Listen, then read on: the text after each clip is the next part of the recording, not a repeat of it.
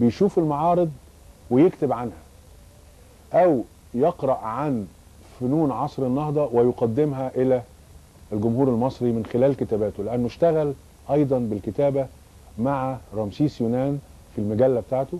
ورمسيس يونان كان عنده مجلة لجماعة الفن والحرية والأستاذ نجيب كتب بعض المقالات فيها.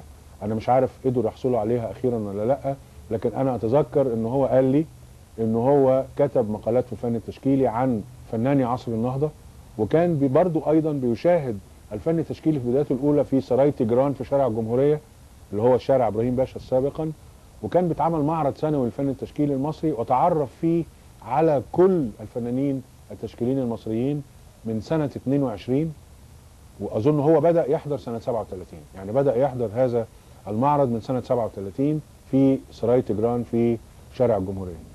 حضرتك شفت مصر من ثورة 19 لغاية دلوقتي. شايفها إزاي دلوقتي؟ بعد 19 و36 و48 و52 و73 يعني و67 و73 شايفها إزاي؟ و77 آه. لا. هي بتعاني وربنا معاها. إزاي تخرج من المعاناة دي؟ انت فكرك أنا عارف تخرج إزاي وما قلتش.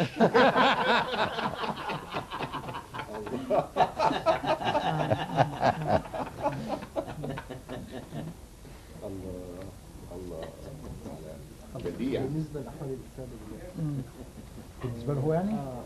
هل الاحلام اللي بيكتبها دي الحقيقة الحقيقة حضرتك قلت لنا؟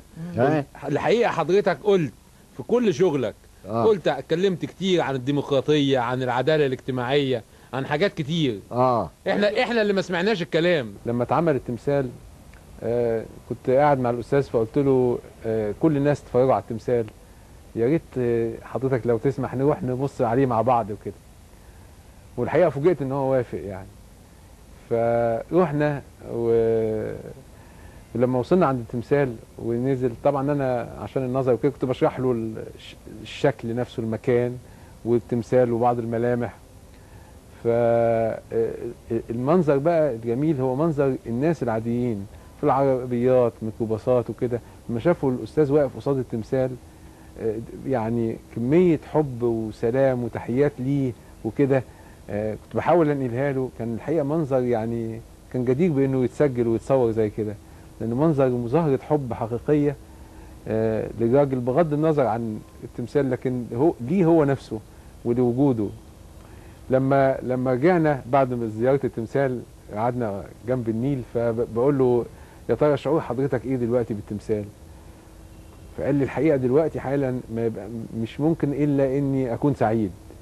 يعني بمعنى إنه كان في التزام أخلاقي إن طالما ناس فكرت وتعبت وحبت تكرمه وتعمله تمثال فهو لازم إن هو كمان يسعد ب- بده يعني. آه بي- بيسألوك عن حالة الكتابة دلوقتي إيه؟ عن إيه؟ الكتابة. ده تبقى الأحلام مثلا. آه. أنا حفظت شوية وأصدقائي قالوا لي مليها لحسن تنساها. تمام. فمليتها على صبري. مم. آه. هم بقوا 100 حلم والأحلام القديمة 17 اللي هي رأيت فيما يرى النائم 17 حلم. لا دي مش أحلام ما أنا عارف دي أحلام مؤلفة. آه. أحلام مؤلفة آه. كنت ببشر على روحي. لا معلش. والله الاستاذ نجيب طبعا أنا أعرفه من زمان قوي من أيام ما كنت بقرأ له من شبابي حتى من أيام ما كنت لسه طالب. إنما علاقتي بيه أخيرا بقى عرفت الطريق إلى هنا. آه، أخويا حسن ناصر هو اللي عرفني بهذه الندوة. وبقيت مواظب على يوم الثلاث باستمرار. بقى أجمل يوم في الأسبوع بالنسبة لي هو يوم الندوة. استفدت الاستمتاع الذي بلا حدود من قراءاتي له. وبعدين في حاجة أحب أقولها بالنسبة ل- لفتت نظري في أدب نجيب محفوظ ورواياته. إن هو آه، شاعر جوه الأديب. فما تخلوش رواية من رواياته إلا إنك تجد فيها ضروري عبارات شعرية أو صور شعرية شاعرية.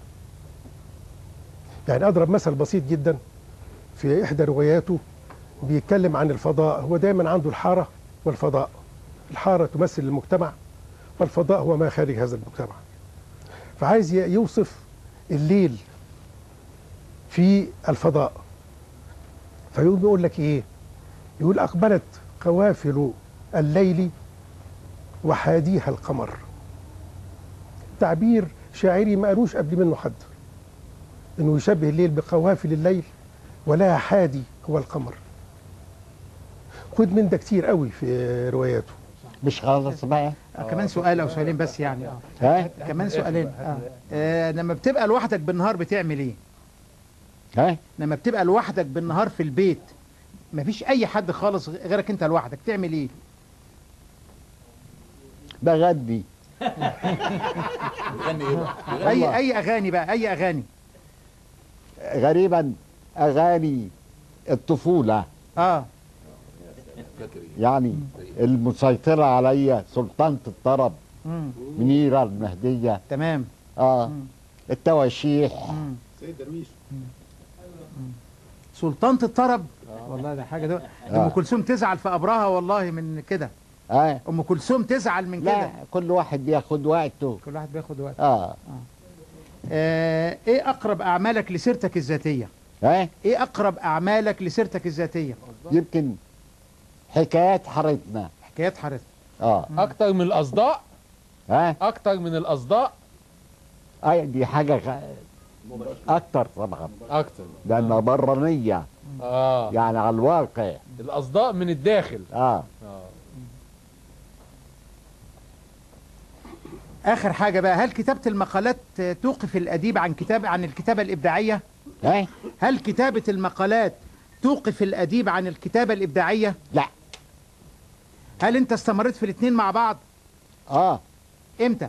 أيام ما كنت بكتب وجهة نظر. كنت ب- ب- بألف روايات وقصص قصيرة وأكتب المقال. المقال. قصدك المفكرة مش وجهة نظر. والمفكرة. المفكرة اللي هي كانت كبيرة. آه. ما جمعتش أنت المفكرة دي في كتاب لغاية دلوقتي؟ ها؟ المفكرة دي ما جمعتهاش في كتاب لغاية دلوقتي. لا يظن جمعوها. أيوه جمعت مع وجهة نظر. كلنا نعلم آه، إن الأستاذ نجيب حصل على آه، أكبر مكافأة مالية في تاريخ الأدب العربي هي المليون جنيه بتاعة العقد بتاع نشر أعماله على الإنترنت. وكان لهذا الموضوع رواية مدهشة الحقيقة. آه، فالأستاذ نجيب محفوظ له ناشر في مصر آه، تعاقد باسمه ودون علمه على نشر أعماله في أحد دول الخليج بمقابل زهيد قبل ما يتم التعاقد معاه بالمليون جنيه دي. فلما جاله العقد بتاع المليون جنيه هو رفضه بما إن النشر بتاعه عمل هذا العمل غير المشروع ومن ورا ظهره. إلا إنه حرصا منه على عدم إيذاء ناشره وعدم توريطه أمام القضاء فآثر أن يخسر المليون جنيه من إن هو يودي هذا الناشر إلى القضاء. وأنا شخصيا وكل الناس اللي بيجتمعوا بيه في ندوة الثلاث حاولنا محاولات مضنية إن إحنا نقنع الأستاذ نجيب باللجوء للقضاء في سبيل إلغاء العقد الباطل اللي عمله ناشره وتمتعه بالعقد الجديد. آه لكنه رفض رفض شديد جدا أن يلجأ إلى القضاء لغاية ما إحنا توصلنا معاه إن إحنا نحاول نحل المشكلة بشكل ودي وكان هو ده السبيل الوحيد لإلغاء العقد مع ال- الشركة العقد الباطل وعمل العقد الجديد مع الناشر اللي موجود في مصر.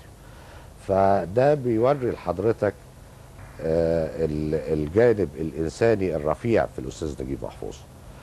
وإنه شخص آه، آه، غير عادي وبيتمتع بقيم إنسانية رفيعة لا يمكن إن حد في هذا الزمن يصل لها ولعل يعني ما بقولش سر لما أقول إن السبب أو الدافع إن هو ما كانش عايز يودي الناشر بتاعه للقضاء إنه مجرد ابن أحد أصدقائه.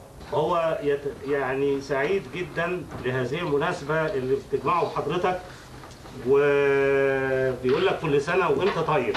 وإنت طيب أشكرك جدا. I wish to tell you all the congratulations of the French people that read your books and love your books. بيبلغ حضرتك سعادته وتحيات جميع الفرنسيين اللي قرأوا كتبك وحبوا كتبك جدا.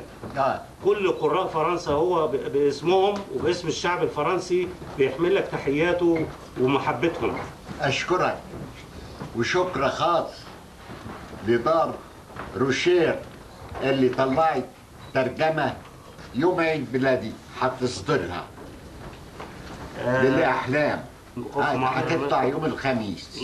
ال- الفر... الف- دي طلوع صدور الكتاب آه، يعني قبل ما يطلع بالعربي دي حاجة يعني بتقدر جدا والفرنسيين يتفهموا هذا بشكل آه،. شرف يعني. آه.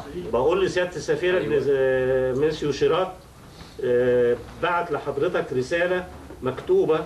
لما حصل إنك أنت كنت تعبت شوية من فترة آه. بيطمن على صحتك. آه.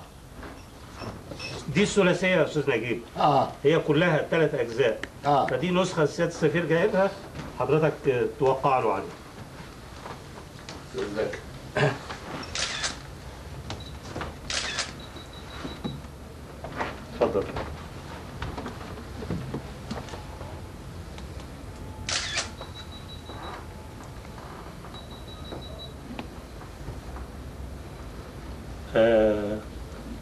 اذنك آه النهارده كام؟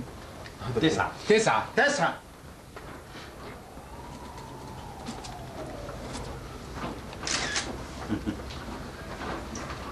This uh, from me for you in Arabic. Uh, اشرب uh, t- uh, what do you want to drink? Juice. No, no, no. There is orange. Orange. Orange. Uh, Orange. لا بس بيتر جميل يا فندم. تشرب ثلاثة برتقال دي بقى بالعربي. أي. دي بالعربي.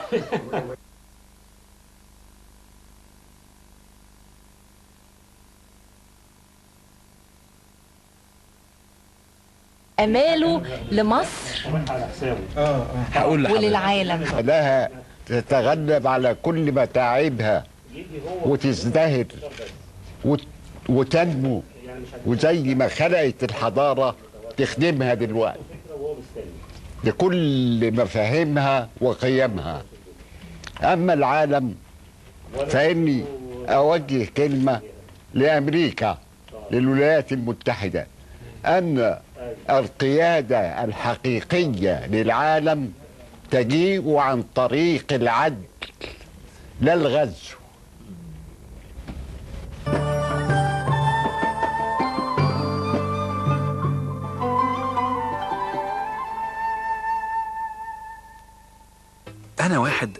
أنا واحد زي كل واحد. عندي شقة. عايز أجهزها وأفرشها.